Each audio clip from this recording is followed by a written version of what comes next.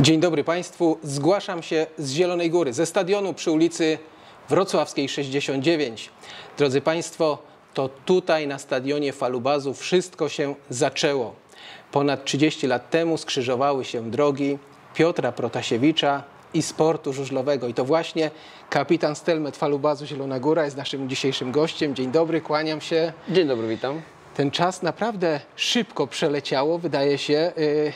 Powiem tak, ale powspominajmy troszeczkę. Piękna y, kariera, pięknie zapisane te karty historii, y, ale jak pamiętam i sobie przypominam, Piotr Protasiewicz, nastolatek, to był uzdolniony sportowo y, chłopak i to wcale nie musiał być żużel, bo chyba było też narciarstwo, były kartingi, co zdecydowało, że wybór padł na czarny sport.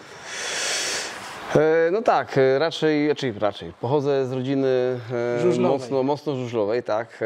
Tata się ścigał też bodajże 11 lat w Zgrzebarkach, później w Falubazie Zielona Góra.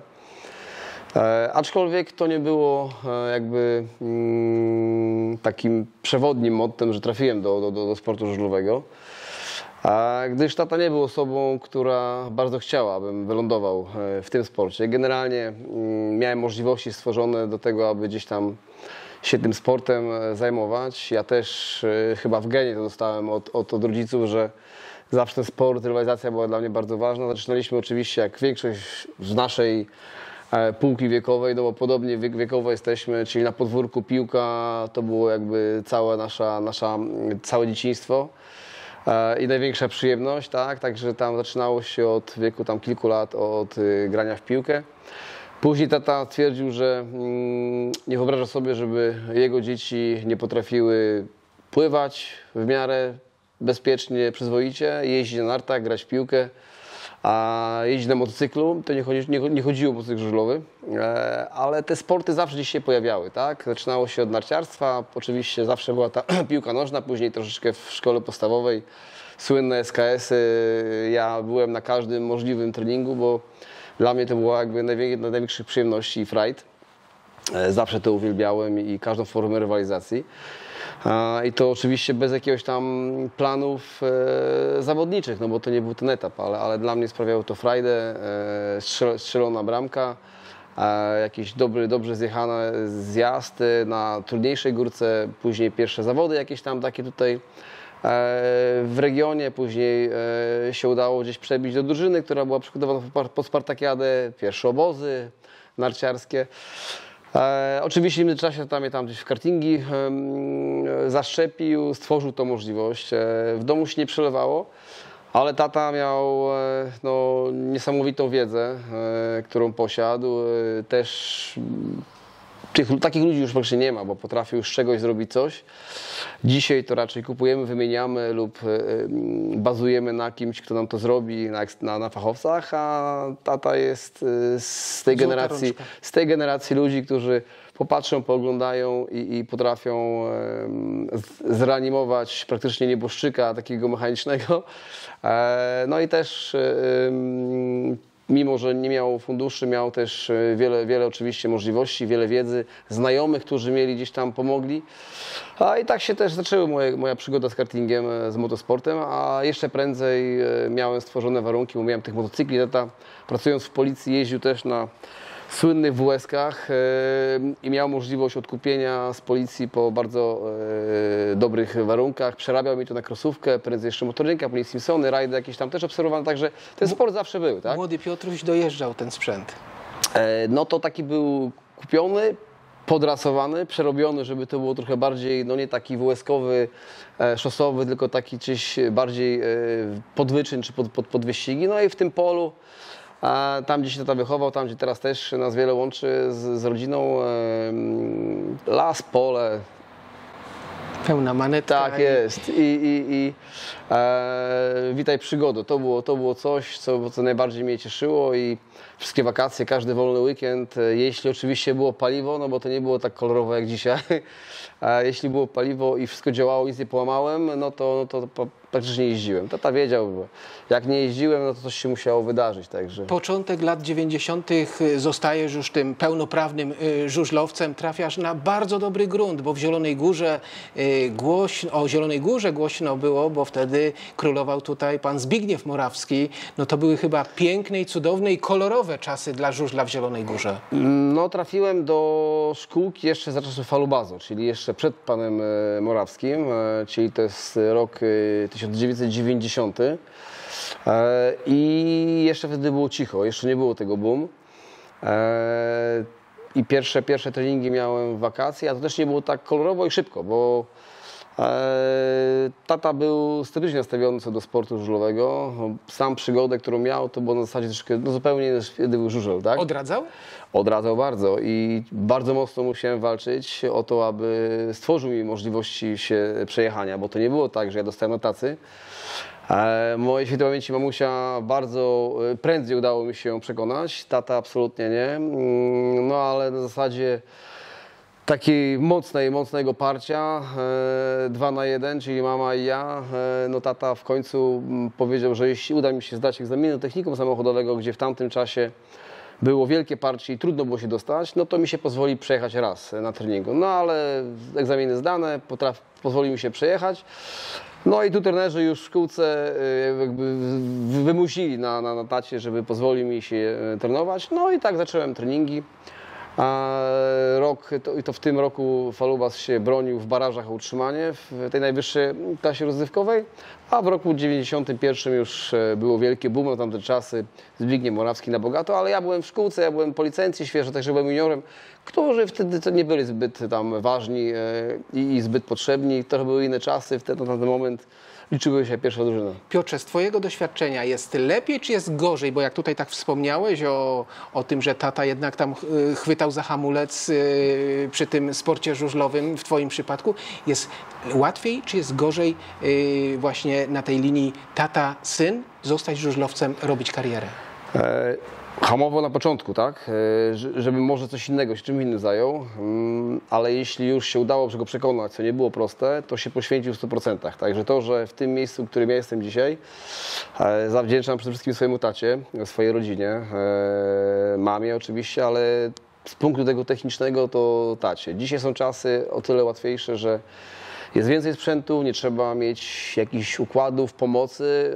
E, Ja przyszedłem, gdyby nie bym nie miał motocykla, nie miałbym mnie kto tam przywieźć, zawieźć, e, złożyć e, z hałdy złomu, który wtedy został rzucony przez pracowników, żebym sobie poskładał, gdzie nie miałem pojęcia, co do czego służy.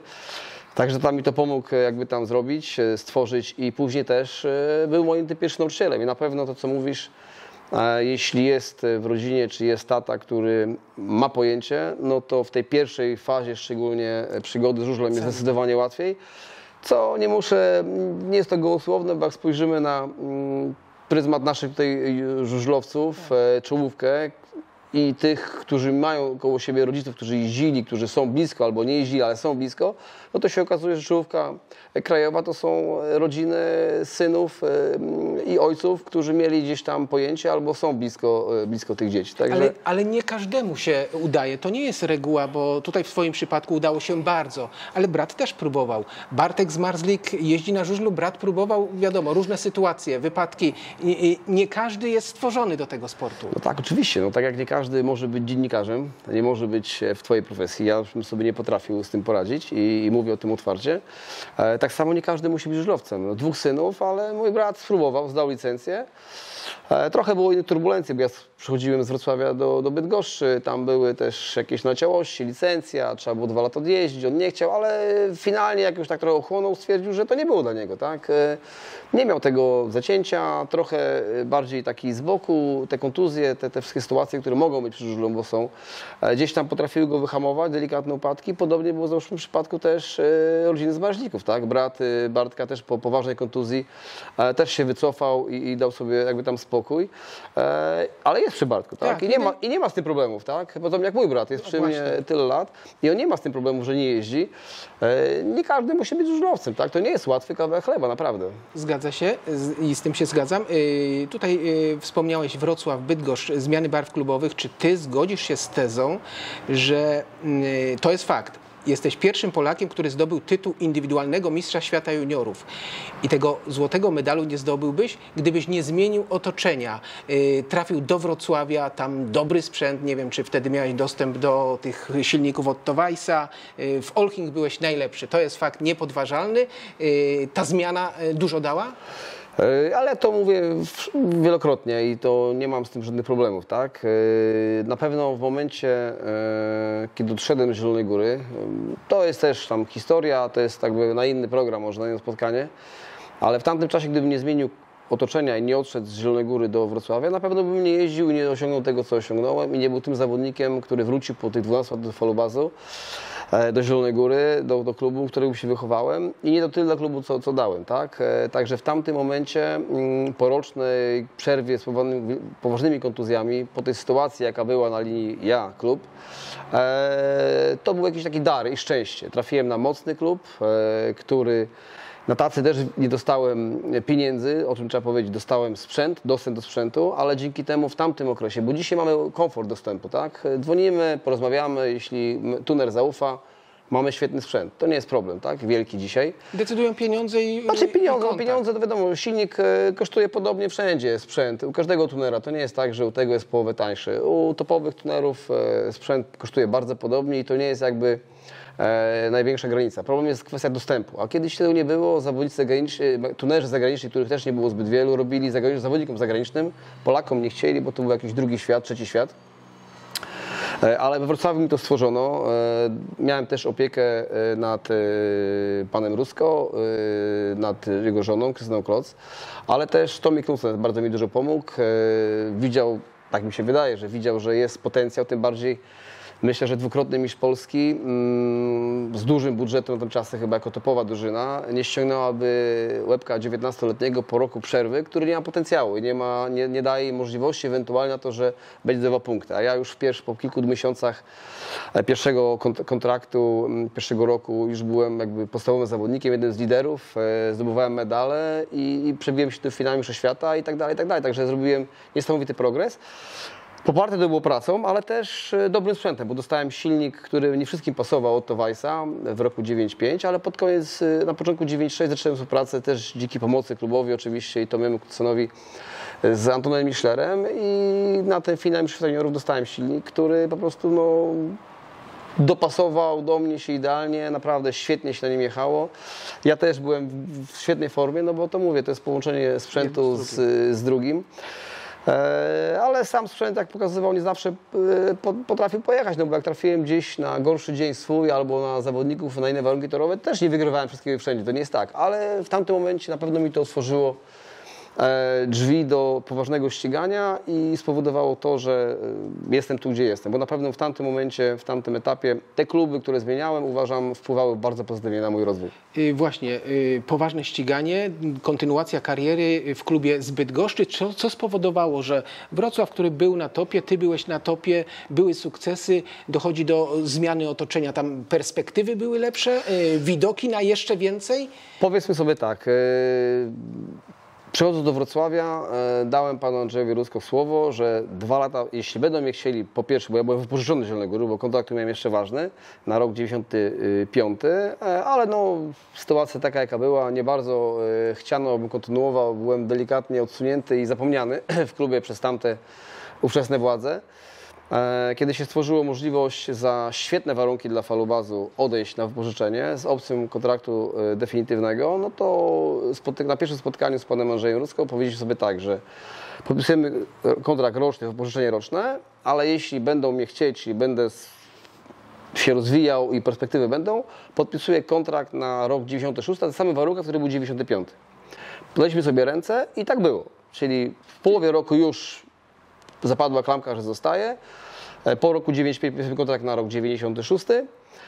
No ale w roku 96 byłem mistrzem świata juniorów, liderem swojej drużyny, drużynowym mistrzem świata mm, i chciałem, czułem, że jest ten moment, kiedy mogę oczekiwać lepszego kontraktu, tak? Mm, Wchodziło zawodowstwo szeroko pojęte E, i tam by- były negocjacje i naprawdę jakieś śmieszne pieniądze na tamte czasy nawet. e, Gdzieś tam się przyciągały nasze, nasze, nasze, no bo też nie będziemy czarować. To też e, moja praca i ja Jasne. też chciałem e, jakoś tam lepsze, lepsze warunki. Nie, nie kosmiczne lepsze, ale ciut lepsze chciałem. E, No ale przyciągało się, przyciągały się tematy i, i zadzwonił e, do pana, mm, do mojego taty, mm, jeden z działaczy klubu Zbyt Gosk, próbował spotkanie. Pan Leszek Tylinger, wiemy, bo Pan na Leszek Tyl- kanale już Tak, opowiadał. a jak pojechaliśmy na spotkanie, no to już e, po prostu tam zostaliśmy. Dostaliśmy świetne warunki i też nie będę czarował e, finansowe. Kontrakt był bardzo dobry, jak na czas, no to był kilkukrotnie lepszy od tego, co, o co ja walczyłem, czy tam starałem wynegocjować w Wrocławiu. I tak, e, Pisałem po prostu kontrakt, który był dla mnie w tamtym momencie kontraktem, kontraktem życia. Mm, aczkolwiek to nie był łatwy też, y, łatwa decyzja, bo wiedziałem, że w Bydgoszczy też czytałem wtedy jeszcze ówczesny tylko tygodnik żużlowy, nie było takiego dostępu do mediów jak dzisiaj, tak? E, Że tam gdzieś na linii zawodnicy, mm, e, szczeg- szczególnie pan Władysław Golob, jest duże tarcie.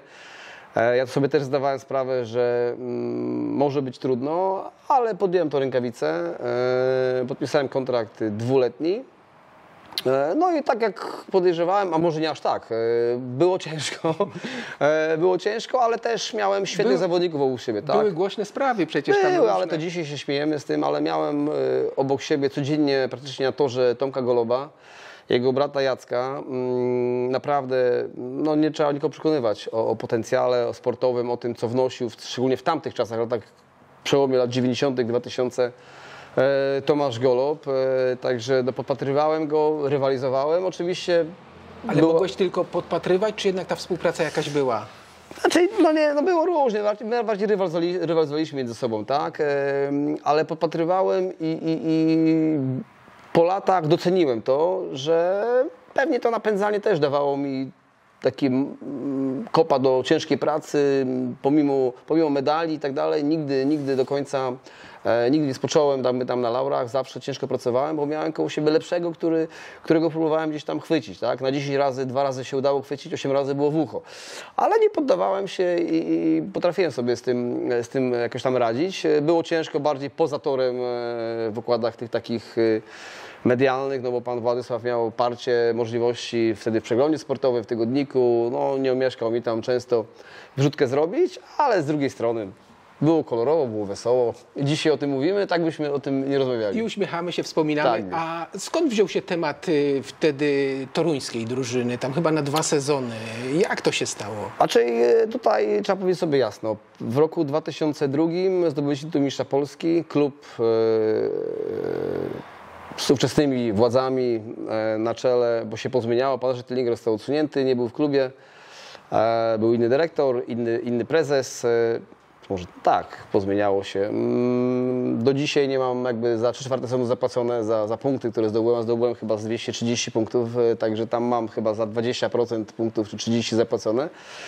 Za pozostałe punkty nie zostało rozliczone, za kontrakt nie został rozliczony. Mm, I był temat e, spotkania o kontrakcie na rok 2003. Dyrektor powiedział nam, że klub ma turbulencje finansowe i proponuje kontrakt o 20 chyba procent gorszy niż był, czy 30 w roku 2002, na 2003. Oczywiście propozycja była nie o 20, tylko 30 tego, co było w kontrakcie w sezonie 2002. Nierozliczony był praktycznie 3 czwarte sezonu 2002, czyli no, nie miałem rozliczonego. Tu kontrakt nawet nie połowa, a 3 czwarte obniżony, czyli no, no nie oszukujmy się. E, No i to tak stwierdziliśmy z ojcem, że to jest tak jakby w, w, białych rękawiczkach kwestia mm, pozbycia się mnie, tak? E, No bo nierozliczony, niezapłacony, a tutaj kontrakt, który no nawet nie jest e, zbliżony do naszych ustaleń.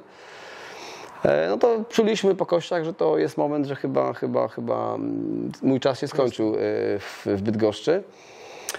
I Toruń chyba wtedy budował mocną ekipę. no, tu trzeba też powiedzieć, że dostałem propozycję, ja byłem dogadany we Wrocławiu ponownie. Ja już byłem na rozmowach we Wrocławiu i tam było, to tam można powiedzieć, byłem bardzo mocno posunięty w negocjacje i praktycznie było dogadane wiele w temacie mojego powrotu do Wrocławia na sezon 2003 i chyba 4 też bodajże. Eee, No ale tutaj w międzyczasie też y, no, moja żona była wysoko w ciąży z pierwszym dzieckiem, eee, potrzebowała bardzo mojej pomocy, tym bardziej wszyscy wiemy jak jest z pierwszym dzieckiem, no to jest no tak Chuchanie, dmuchanie. Chuchanie, dmuchanie, tak. E, Ja jeździłem wtedy w Grand Prix w lidze szwedzkiej, w lidze angielskiej. E, Mówię, Liga Duńska jeszcze w międzyczasie. No Polska wiadomo, jeszcze jak w Polsce miałbym wyjeżdżać daleko e, do swojego klubu. No i stworzyła się rozmowa, bo zostałem zaproszony na rozmowy przez prezesa Marka Karwana wtedy. Mm, No i tutaj nie, było, e, nie był to temat, można to można potwierdzić z panem Markiem, na licytację, gdzie lepsze podbijanie, e, podbijanie jakby tam e, Stawek. kontaktu stawek, tylko przeważyło to, że tam miałem trochę mętlik, e, mieszkałem, mieszkaliśmy przy wylocie jakby z Bydgoszczy w stronę Torunia, e, także na stadion miałem no ten, nie motorem, tylko wcześniejszy stadion. Na Broniewskiego. Na Broniewskiego miałem, nie wiem, 20 pół godziny z domu, czyli naprawdę rzut beretem. E, no i tak po takiej dłuższej rozmowie w sumie, w sumie no to zapadło, że mm, Niech będzie. niech będzie ten Toruń, tak? Znaczy niech będzie. To nie było tak, że ach, niech będzie promocja, to nie jest tak, bo też to było obarczone dla mnie dużym stresem. Bo tam Facet- znowu mocna drużyna. To jest raz, ale facet, który jeździ jednak, no nie jestem rodowitym bydgoszczaninem, ale mm, 6 lat y, w Bydgoszczy, tam się miał, mieliśmy dom. E, Wiadomo, tam jak się- wygląda rywalizacja między Toruniem i Bydgoszczą. Tak, tak. I tak trochę tutaj były obawy, ale stwierdziłem, że e, podejmę, zaryzykuję, tak. I podpisaliśmy kontrakt, podpisałem kontrakt na 2003 rok. Podziękowałem we Wrocławiu. Oczywiście też się, tam trochę było y, mm, no, takiej sytuacji, no trochę miałem do siebie pretensje, że tak to e, poszło, a nie inaczej. No ale też mam nadzieję, że szefostwo zrozumiało to, bo to mówię, nie chodziło o podbijanie stawki, bo nie dzwoniłem później jeszcze raz do, do, do Wrocławia, aby warunki były lepsze, no bo to nie o to chodziło. E, W Toruniu podpisałem na warunkach, które miałem wynegocjowane praktycznie we Wrocławiu, na tych samych warunkach. E, kontrakt roczny. E, No i jeździłem, tak. Sezon był dla mnie bardzo dobry. E, Ja się mimo turbulencji początkowych na wejściu w sezon, bo, bo nie było łatwo dla mnie z kibicami. Każdy gorszy z Torunia, każdy gorszy występ był inaczej odbierany niż wychowanków z Torunia. A rywalizowałem o miejsce w składzie, czy z Tomkiem Bajerskim, czy z Robertem Slawiną, czy z Wisławem Jagusiem, bo tych Polaków było więcej niż miejsc w drużynie. E, No ale później się zadomowiłem, zdobyłem pewne miejsce, później już nie musiałem kombinować, a jakby tutaj mm, potwierdzenie było to, że e, na, na kolanie z Markiem, panem, z Markiem Karwanem, e, prezesem, po ostatnim meczu na drugi dzień żeśmy sobie podali rękę, w 5 minut zgodzili warunki na rok 2004, także to świadczyło o tym, że, że tam się dobrze czułem i klub chyba też był zadowolony z mojej, mojej jazdy. Gdzieś tam jednak po drodze do tej Bydgoszczy trzeba było zawitać ponownie, by później wrócić zupełnie w rodzinne strony. E, No tak, e, pozmieniało się w Bydgoszczy, Na podczas, lepsze. podczas tego. A czyli się, na lepsze. personalnie się pozmieniało. Czy na lepsze, to nie wiem, personalnie się pozmieniało. Ja tam nie wnikałem, e, 2-3, 2-4 rok to byłem, byłem w Toruniu i tam dawałem siebie 100% i, i tutaj tak e, odbiegając od tematu, to byłem w kilku klubach, e, można mi wiele zarzucić, czasami można było to inaczej spowodować odejście, przejście e, i tak dalej, ale nigdy w żadnym klubie nie jechałem na pogwiska. Zawsze dawałem siebie 100% e, i, tutaj nikt mi tego nie może zarzucić. E, Nie zawsze wychodziło, ale nikt nie może powiedzieć, że gdzieś tam jechałem na pół, na, na 50% albo nie zostawiałem serca na torze, bo zawsze, zawsze tak było w każdym klubie. E, I tu mam do siebie tą taką pewność i w lustro spoglądam e, z podniesionym czołem, to jest jedna sprawa, ale tak, pozmieniało się personalnie w, w Polonii Bydgoszcz. Już w połowie roku, czy pod koniec sezonu 2004, mm, bo wrócił pan Leszek Tylinger znowu do klubu, e, bardzo mocno zabiegał, rozmawialiśmy bardzo spokojnie, tym bardziej, że pan Karwan bardzo chciał, żebym jeździł w sezonie 2005. E, No ale rzeczywiście pozmieniało się personalnie, e, było inna, inna wizja budowy, budowy składu na rok 2005, e, gdzie miałem być z Andreasem Jonsonem tymi najważniejszymi ogniwami, wokół których miało się budować jakby drużynę. No i podpisałem kontrakt, podziękowałem panu Markowi Karwanowi. I tutaj muszę powiedzieć, że w pierwszy mecz wyjazdowy, jaki mieliśmy w sezonie 2005, był do Torunia. I był to pierwszy klub, który na prezentację, mimo całego stadionu gwizdów pod moim kierunkiem, no nie oszukujmy się, odszedłem z Bydgoszczy do Torunia, wracam z Torunia znowu do Bydgoszczy, e, ale zostałem przez e, zarząd klubu podziękowania na prezentacji. Piękny, piękny puchar, e, piękne zdjęcie za te dwa lata startów. I do dzisiaj mam wielki szacunek i tutaj Markowi Karwanowi zawsze to powiem i oficjalnie, że, że to był pierwszym prezesem, który po odejściu e, tak się zachował i, i tak z klasą potrafił e, mi podziękować. Także, także tutaj, panie Marku, jeszcze raz, czy Marku, bo ty jesteśmy słowa uznania, podziękowanie, także to było dla mnie bardzo miłe.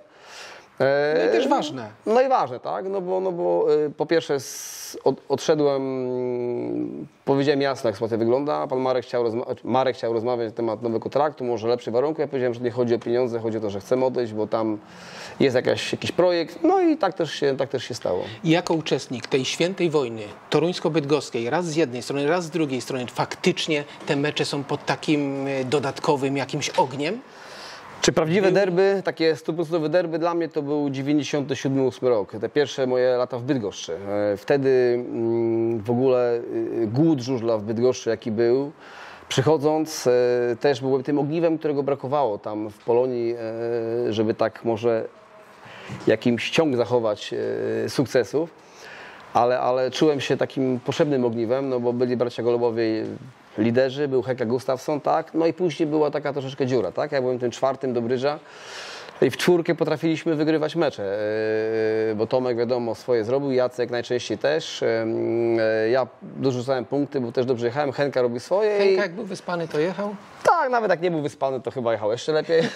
także, e, także, także tutaj nie było problemów, ale, ale zdobywaliśmy. I później, mm, i wtedy był taki głód y, sukcesów. Tam na torze, y, czy się działo dużo, czy nie, nieważne, byle byśmy wygrywali. No i tak było, bo 97 rok mistrz Polski, 98 rok mistrz Polski, e, chyba 2000 chyba też mistrz Polski, że pamiętam, 2-2 też mistrz Polski, także no było, było, było pasmo, e, pasmo sukcesów w parach, żeśmy z Tomkiem praktycznie e, mm, wygrywali wszystko i wszędzie. Tomek indywidualnie wszędzie. E, Ja tam od czasu do czasu gdzieś tam go może kąsnąłem, ale to było tak sporadycznie. Ale wygrywa jako Polonia, jako, jako klub wygrywaliśmy, także w, te, w tamtym czasie derby to były derby. 17, 18 tysięcy, 19 na pierwszym meczu. To na mnie robiło duże wrażenie. Taki prawdziwy y, na trybunach y, walka, rywalizacja. Ale ta, te derby nieraz zaczynały się już kilka dni wcześniej, czy kilka tygodni wcześniej, jakieś billboardy w mieście. yy, Wiesz co, one trwały cały czas, sobie na każdym kroku gdzieś się pojawiło, było i się działo, ale no mówię, ja tu mówię w, w odbiorze jakby drużyny w tym momencie bydgoskiej, ale jak poszedłem do Torunia, to też ten pierwszy rok też było bardzo cze- wyczekiwane, tym bardziej mieliśmy drużynę, która miała w cuglach wygrać ligę, e, skończyło się srebrem, ale taki jest sport, tak, E, bo mieliśmy piekielnie mocną ekipę, bo mieliśmy Rickardsona, Krampa, E, Był Wiesław Jagoś, byłem ja, Tomek Bajerski, Robert Sawina, świetni juniorzy, bo Adrian Miedziński, Karol Zombik, no naprawdę była, jak ja to mówię, kapela, która miała prawo marzyć o tym, żeby w cugach wygrać, ale w finale pokonała nas Związek Częstochowy. A może to też taka pokora na, na, na kolejne lata. No sport może Ale było, ale derby były. Później troszeczkę to, to siadło, dlatego że siadło, że y, wtedy były obie drużyny na bardzo wysokim poziomie. Później się zdarzało tak, że to Polonia była dużo wyżej, później ten Toruń był dużo wyżej, Polonia niżej i to już nie, miało, nie było takiego smaczku y, rywalizacji sportowej. Trochę tam się działo, ale to nie było to samo. Liczysz złote medale, nie wiem, na przykład drużynowych mistrzostw Polski? Ja tak przyjrzałem się, chyba 8 drużynowych mistrzostw Polski, 12 w sumie medali mistrzostw Polski, 8 złotych yy, drużynowego mistrza Polski. Falubas ma 7, kapitanie. No, ale ja nie jeździłem e, 50 lat w falobadzie, ale mam trzy bodajże, tak? Z, Tak, tak. Bo chyba 2,9, 2,11, 2,14, no tak, trzy mam. No to fajnie się ta klamra jakby spięła, bo zaczynałeś w Zielonej Górze, jesteś skończę w Zielonej Zielonej Górze. yy, No i co spowodowało, że wtedy wróciłeś yy, do Zielonej Góry? E, dwa lata. E, 2006 rok był trudnym rokiem. E, W Grand Prix e, było bardzo słabo. W lidze było dobrze, ale bez rewelacji. E, I tak z tatą żeśmy trochę zaczęli rozmawiać. E, Żona moja zawsze mówiła, słuchaj, ja tam się tu nie wtrącam, także rzadko gdzieś tam, także nigdy nie ingerowała.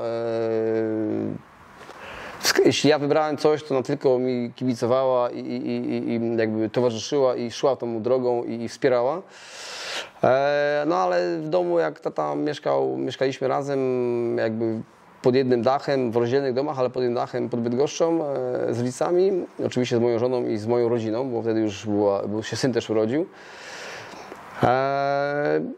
E, I tak trochę popadłem w taki marazm. Nie było takiego błysku, taka stagnacja i czułem się do pracy, do, do, do, do, na, stadion jechałem jak do, jak do pracy bym szedł, tylko i wyłącznie, tak? Czyli tam zrobić takie punkty, wystawić fakturę i, i, i tyle. I jakoś Typowe tak, rzemiosło tylko. tak, ale już nie było tego błysku, nie miałem takiej Brakowało radości z ognia? jazdy, brakowało ognia, jakiejś tam mm, wizji, yy, celu sportowego.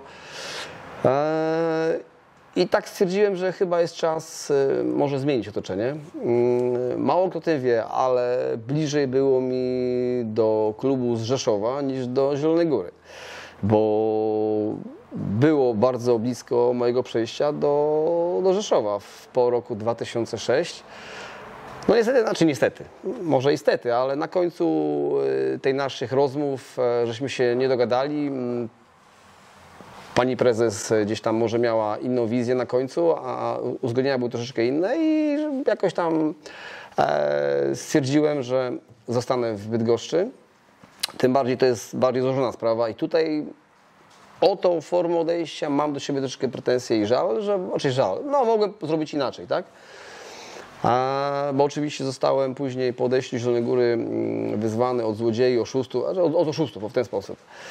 E, Co się miało z prawdą i tutaj jakby pan Leszek Tylinger siedział, którego bardzo szanuję i bardzo mu za wszystko muszę podziękować, bo był ważnym człowiekiem na mojej drodze i wiele mi pomógł i w wielu sytuacjach stał murem za mną i, i tutaj zawsze będę o nim bardzo dobrze się wspominał i, i pomimo naszych takich szorstkich e, relacji zaraz po moim odejściu, no ale to do tego zaraz dojdziemy. E, Ja uzgodniłem z klubem w Bydgoszczy warunki kontraktu na sezon 2007, ale prosiłem, żeby tego nie roztrząsać na razie, nie mówić o tym, bo ja potrzebuję porozmawiać z moimi sponsorami yy, i tak dalej, bo trochę się tam zmieniało. Kilku sponsorów yy, podchodziło, bo problemy jakieś tam firmowe, nie wnikam. E, Ale ja do końca też nie byłem przekonany, tak po cichu liczyłem, że może e, gdzieś tam się uda mi e, może nawiązać, bo czułem, że jakoś tak zasiedziałem, no nie było tego, tego, tego ognia, na trybunach chyba też już nie było takiej, takiego poparcia, wsparcia, gdzie w ostatnich dwóch tam czy trzech meczach no było, mm, było tak, jeśli chodzi o moją osobę, tak średnio. Tak by też dolewało troszkę oliwi do ognia.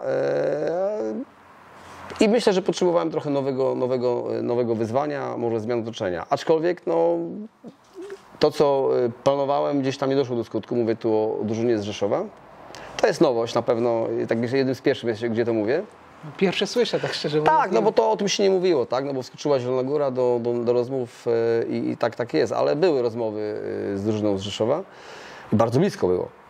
E, No i co mogę powiedzieć? I, i, i tym bardziej, że z żoną byłem w Rzeszowie, e, żeśmy oglądali, rozmyślali i tam miałem mieszkać. E, Takie były plany, że tam będę mieszkał w sezonie, a na zimę będziemy tam wracać do, do, do Bydgoszczy. No to już musiało być Tak, daleko. no, no dokładnie, także tutaj nie ma, nie ma czarów. Były te rozmowy, tym bardziej jeden z sponsorów moich, który był moim sponsorem jeżdżąc w Bydgoszczy, też był podczas tych rozmów, także, także był, był świadkiem. No ale nieważne, tak miało być, widocznie tak się skończyło. No i do gry w, e, wskoczył pan Robert, Robert Dobchan, e, który no, jest twardym graczem, e, ale też jeśli ma jakiś cel, to potrafi, potrafi jakoś tam przynajmniej zachęcić do spotkania, do rozmowy i tak dalej, i tak No i przekonał mnie do przyjazdu tutaj, do Zielonej Góry mm, na, na rozmowę. No jak mnie przekonał, jak przyjechaliśmy tu z ojcem, no to już zostało tak, że ten kontrakt e, gdzieś tam parafowałem. I tu jest ten jakby, bo mo- można było to inaczej rozegrać, aczkolwiek finalnie by tak było tak samo, tak? Został, e, jeździłbym w Zielonej Górze, ale troszeczkę mogłem to inaczej jakby, mm, jakby z klasą rozegrać, jeśli chodzi o mój klub, w którym jeździłem do tej pory, czyli w Polonii Bydgoszcz. A, bo, bo, bo... A jak powinno to wyglądać? Powinienem jednak usiąść do stołu, spotkać się jeszcze raz, e, powiedzieć jakie są, jakie mam wizje, jakie mam plany. Aczkolwiek trochę też e, tutaj jest po stronie e, pana Leszka, bo e, po naszych negocjacjach na drugi dzień poszła informacja, gdzie prosiłem, żeby nic nie mówić, poszła informacja w mediach, że jesteśmy dogadani.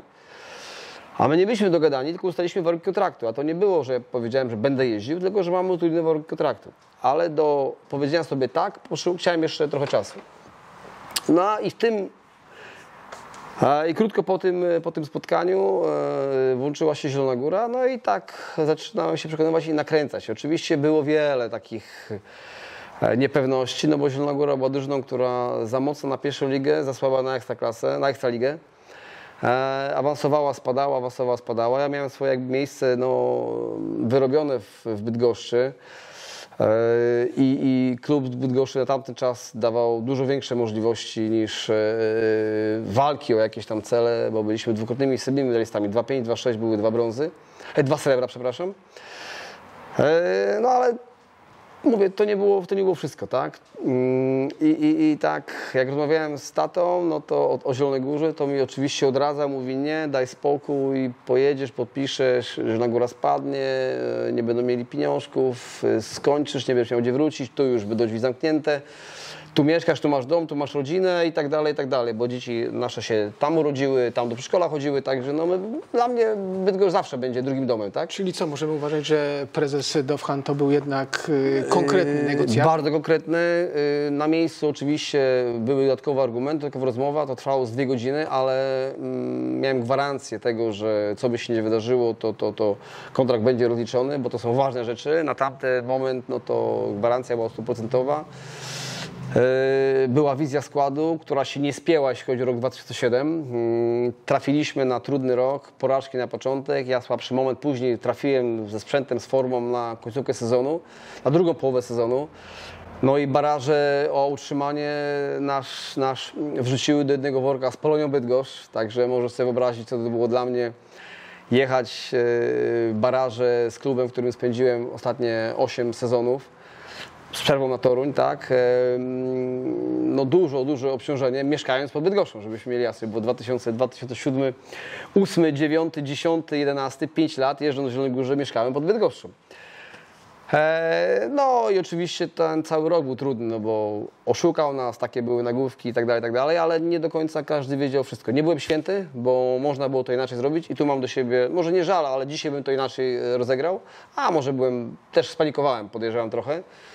E, No ale tak się wydarzyło i czasu nie cofnę, potrafię się przyznać do, do błędu, ale z drugiej strony też w tamtym momencie klub nie był też bez, bez winy i to pan Leszek też na pewno wie, jakbyśmy się spotkali, jestem w stanie to e, z nim porozmawiać, ale do dzisiaj się bardzo lubimy, mamy z tobą dobry kontakt i, i, i, i, i, i nie mam problemu. Wielki szacunek. Jeszcze zamykając ten temat y, bydgoski y, i tu a propos wspomniałeś y, kilka razy o sponsorach, jak są ważni. Nawet nie myślałem, że tak może powstać taka więź między zawodnikiem a sponsorem, bo marka Pentel, y, wy współpracujecie ze sobą ile? 100 lat? 120 lat? No, żużlowo będzie prawie 200, naprawdę 20, 25 To jest, rok. to jest niesamowite. Ale to, to są moi przyjaciele, to jest moja taka, to jest moja rodzina, można powiedzieć. E, My nie rozmawiamy o sporcie, tylko wielokrotnie rozmawiamy o rodzinie, o życiu, o swoich innych problemach takich prywatnych. Wakacje wspólne? Były, były narty wielokrotnie i tak dalej. No, kiedy wakacje jedzie Marek z Ewą, ze swoją rodziną, no to ja mam sezon, tak? Czyli to ciężko jest, ale przygotowuję się. Ale jestem przekonany, że jak skończę jeździć, to mm, wymuszę na Marku i Ewie wspólny wyjazd, takie prawdziwe wakacje, gdzie będziemy tylko pili dobre wino i dobrego szampana. E, Ale mówię, to są moi przyjaciele. Oni mi wielokrotnie pomagali, nie w tematach, bo zaczęło się oczywiście od tak, biznesu, reklamy, jak zwał, tak zwał. Ale dzisiaj to, co bym nie powiedział, to powiem zawsze za mało. Eee, Jesteśmy po prostu przyjaciółmi. Nasze rodziny są bardzo blisko. Ja żyję. Ich życiem jest dla mnie wzorem e, prowadzenia firmy, e, rodziny i tak dalej, jak to wszystko funkcjonuje. Biorę ile mogę, bo, bo jest to dla mnie wzór, jeśli chodzi o Jak człowieka. mówisz, jak skończę karierę, to mnie to elektryzuje, bo widziałem Twoje największe sukcesy, spoglądałem, podziwiałem tą całą karierę i nie mogę się z tym oswoić. Jak skończę karierę. No tak, no ale no mam 47 lat, 32 czy 33 lata, 33 sezony w sporcie żużlowym, no to mm, życzę każdemu żużlowcowi, aby tyle przejeździł. E, no kiedyś trzeba powiedzieć pas, tak? Oczywiście, jak mam zdrowie, ostatnie 4 sezony były takie, że jak miałem zdrowie, nie, nie przydzwoniłem gdzieś, to było fajnie, później był dzwonek mocniejszy, znowu parę miesięcy i powrót. E, To mi dało też, że, że zbyt dużo już mi kosztowało te powroty po tych kontuzjach. Twierdziłem, że ten sezon będzie ładny, piękny. Jest trudniej w, tym, w Twoim wieku teraz wracać na tor po kontuzji? E, To nie chodzi o powrót, Porównując, bo... y, nie wiem, gdy miałeś 20-25 lat, To nie chodzi o sam powrót, o to jak się czuję, bo wsiadłem na motor po pięciu tygodniach niesiedzenia i pojechałem dobre zawody. E, ale to chodzi o, o, tą, o, tą, o tą jakby mm, regenerację organizmu. To wszystko trwa dłużej, yy, więcej czasu muszę poświęcić na to wszystko. To się tak nie goi, a mam 47 lat, ważę e, 63,5 kg, mam 1,87 m wzrostu, e, nie mam nic tłuszczu, e, praktycznie kości oklejone żyłą, mięśniem. Olimpijska forma. Tak, ale jak to mówi moja fizjo, e, fi- fizjoterapeutka, e, mówi, no tak, ale jeśli by było trochę to oblane, to też byłoby inaczej, tak? A u Ciebie wyłączenie jednego, wyłączenie jednego mięśnia e, powoduje to, że wszystko się sypie. E, I tu jest ta, ta trudność. E, A kiedy miałem 20 par lat, regenerowało się szybciej, tak? To dzisiaj inaczej, każdy, każdy boom, to te powięzi moje nieszczęsne w odcinku lędźwiowym, to wszystko jest tak po złamaniach, e, bo mało kto wie, ale dwa razy złamany kręgosłup w odcinku lędźwiowym, kość stłuczenia, zbita miednica, złamana kość, y, y, staw biodrowy zwichnięty i tak dalej. I to gdzieś tam się skumulowało i, nawet po piłce ja potrzebuję trochę odpoczynku i A te kontuzje się odzywają? Y, Ból jakiś? Co- no nie, tylko jakieś- no, ból. No ból jest tak, że jak obciąży się za mocno, to te powięzi Czujesz. są, no nie wracają do, do takiej formy jak u dwudziestolatka, dwudziestolatka. Także mam przyjemność, jak się dobrze czuję, jak mi nic nie boli, ale te trzy sezony ostatnie powodowały tak, że było dobrze, bum, gorzej, gorzej, końcówka znowu dobrze, a Patrzymy na cały, na cały sezon, ale nikt nie wie, że tutaj, a ja nie jestem z tych, który by tam płakał y, po każdym meczu, że jeszcze nie, jeszcze nie, bo mnie boli, bo mnie coś, bo było to, bo było pęknięcie. Mało, mało kto wiedział, tylko najbliżsi wiedzieli, co do końca mi tam gdzieś było w tych trudnych momentach, a nie jestem z tych, który tam gdzieś płacze na łamach telewizji, radia czy, czy, czy internetu, bo to nic nie daje, tak? Dzisiaj, jakby nie patrząc, y, jesteś ikoną już y, tego zielonogórskiego klubu. Wielki szacunek w Bydgoszczy. Wiem, że jesteś osobowością w Polonii też. y, O, ale. Piotrze, tutaj będę, jak już wspomniałeś, że inaczej postąpiłbyś w tych rozmowach, na przykład z Polonią, przechodząc Tak. do innego klubu, to znasz przecież słowa piosenki Perfektu, trzeba, wiesz kiedy zejść ze Tak. sceny. Nie wiem, czy to jest dobry moment, bo ty już oficjalnie zakomunikowałeś, że to jest twój ostatni sezon. Potwierdzasz? Tak. Dlaczego? E, To jest dobry moment? Przemyślałeś wszystko? Tak, tak, tak. To nie Żebyśmy jest, się nie to... spotkali za dwa lata i powiesz, że mogłem to inaczej rozegrać. Nie, tym bardziej, że od dwóch lat y, też gdzieś tam, czy od półtora roku mm, były jakieś rozmowy co do mojej przyszłości po zakończonej jeździe, także ja też gdzieś tam e, wielopłaszczyznowo gdzieś tam też y, po, po, poczyniłem jakieś starania. Oczywiście mocno się przygotowywałem, ale gdzieś jeśli dałem zimą słowo, czy podaliśmy sobie ręce, no to e, też nie chcę wyjść na, na idiotę, tak? To Także- wynik sportowy, kontuzja w tym roku nie miała znaczenia. nie, nie, ma absolutnie. Nie, nie miała nie, wpływu nie, na nie, decyzję. nie, nie, nie, bo to było podane, po, znaczy inaczej. Ci, którzy mieli wiedzieć, to wiedzieli już od y, dobrego tam prawie roku. E, w rodzinie też. E, to była taka decyzja, oczywiście finalnie była moja, ale to też tam gdzieś konsultowałem z moimi najbliższymi, a, z moimi przyjaciółmi, e, z najważniejszymi sponsorami i tak dalej. E, I to nie, miało, to nie miało żadnego wpływu. To, że na trzecim treningu mm, była kontuzja, która e, trwała jeszcze do, na dwa tygodnie do tyłu, czyli, czyli no, prawie dwa miesiące. Nie widać, a nie szło, nie, nie, mogłem, nie, mogłem, nie mogłem jeździć, nie miałem siły. Nie miałem sprawnej ręki. E, to, nie miało absolutnie wpływu. To jakby było tylko dopełnienie chyba tego, że... No teraz mamy E, jasność, tak, wiemy o co tak, chodzi. tak, tak. Jeszcze zapytam o, o kontynuację y, żużlowych y, tradycji w rodzinie. Syn miał zajawkę, nie wiem czy ma jeszcze tematy kartingowe, ale żużel niekoniecznie. No nie, niekoniecznie.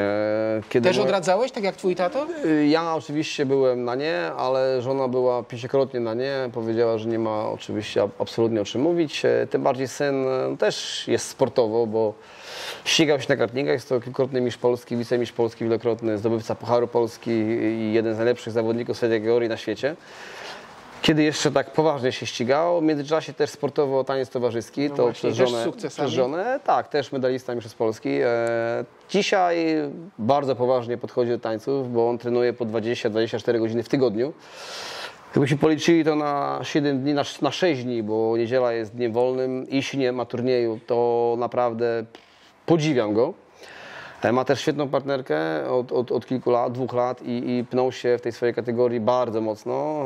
E, Myślę, że jeśli wytrzymają w tym reżimie startowym, to będziemy słyszeć o nich, o tej parze. Rodzina Protasiewiczów jednak coś ma z rywalizacji, coś ma w tych E, genach. Młody magen sportowy, to tak, to muszę powiedzieć. Magen jest zacięty, jest taka, brzydko mówiąc, sportowa, nie wiem czy mogę powiedzieć, mogę? Tak. Taka menda sportowa, że jak się czepi, to nie idzie go, daje siebie 100%, e, na treningu już na to, i to ma w sobie, tak? Jeśli wytrzyma w tym reżimie, to, to e, inaczej. To nie bez powodu w sportach motorowych potrafił być e, jednym z najlepszych i w sporcie, który w ogóle się nie łączy jakoś, e, też sobie radzi. Córka też i tańczyła, czy tańczy jeszcze, ale to wiadomo, y, też, też zdobywała medale, ale tam no, ma trochę inne, inne, inne plany, nie powiązane ze sportem, ale jest silna, jest silna, to trzeba oddać.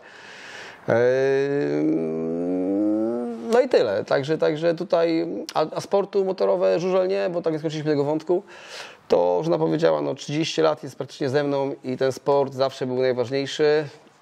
Tak to było. I to wystarczy. I wystarczy. W tym roku mamy 20-lecie, 20-lecie ślubu. Prezent ode mnie jest tak, że kończę tą, tą jazdę jako zawodnik. To jest taki prezent dla niej za tą wytrzymałość. Gratulacje. No jeszcze zostało, bo to dopiero w październiku, ale, ale tutaj, tutaj słowo się rzekło i odwrotu nie ma od tego. No tutaj wspomniałeś o tym y, planie za metą. Jaki będzie plan za metą? Nie wiem, czy coś możemy uchylić rąbka tajemnicy. Powiedz chociaż, czy to będzie związane ze sportem żużlowym, bo takiej osobowości jak ty sport żużlowy nie powinien stracić pod każdym względem. Czy to w pracy z młodzieżą, czy to, nie wiem, komentator w telewizji. Gdzieś to trzeba wykorzystać.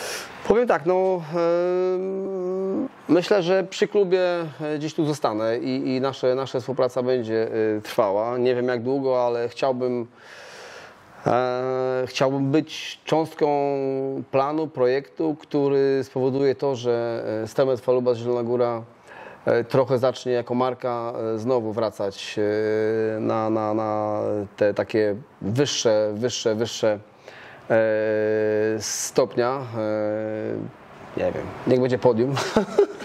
Ale generalnie, że będzie te, te struktury klubu będą mocniejsze.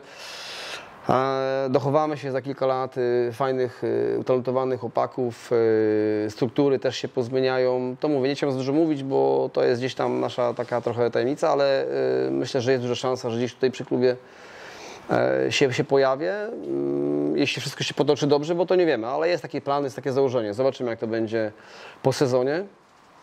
E, Jest też gdzieś tam kilka zapytań e, z innych kierunków, też żużlowych. Nie klubów, ale tak by ośrodków, które e, gdzieś tam działają. Zobaczymy. No, ja mówię tak, nie ma ludzi niezastąpionych, Tak? tak? widzisz się w roli trenera? Masz takie podejście, masz takie zacięcie, masz taką zajawkę, może z młodzieżą, może ze starszymi. To jest Masz bardziej... takie geny do, Znaczy, do tego nie wiemy, tego nie wiemy. E, Myślę, że potrafię przekazać wiedzę. E, Jestem przekonany, że na żużlu się znam.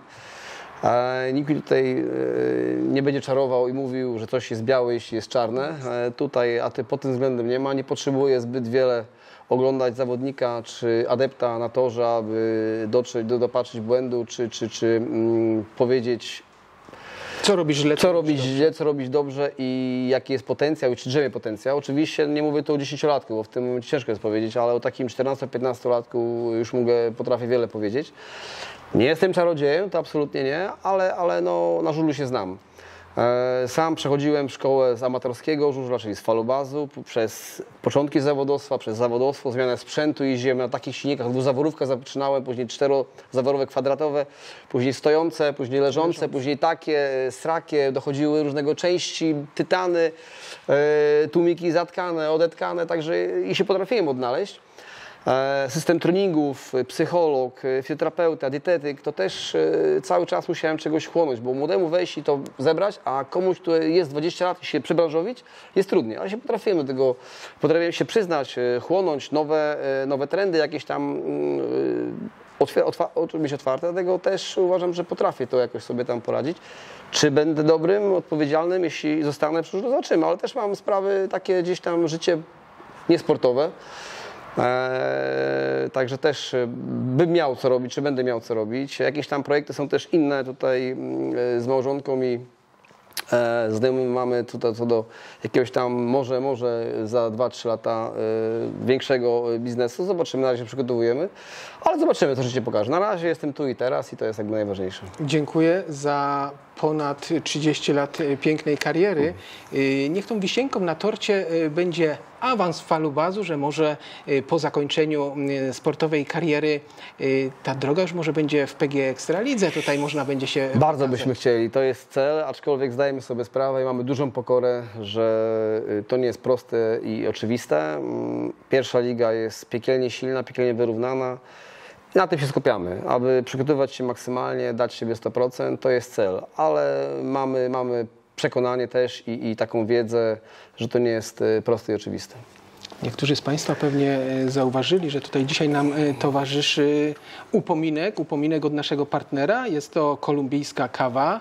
e, Kolumbijska kawa, no marki nieźle. e, Kofeina. Dla Ciebie Piotrze. Dziękuję Proszę bardzo. Dziękuję. Smacznego życzę i bardzo Dziękuję. dziękuję za spotkanie, dziękuję za rozmowę. Było naprawdę Drobiazg. miło, sympatycznie. Wspaniała kariera Piotra Protasiewicza. Drodzy Państwo, oglądajcie, subskrybujcie kanał, bądźcie z nami. Co tydzień nowe rozmowy. Dzisiaj y, król falubazu, No, kapitan, kapitan, Kapitan, niech będzie. El Capitano y, falubazu Piotr Protasiewicz. Dziękuję bardzo za Dziękuję rozmowę. bardzo.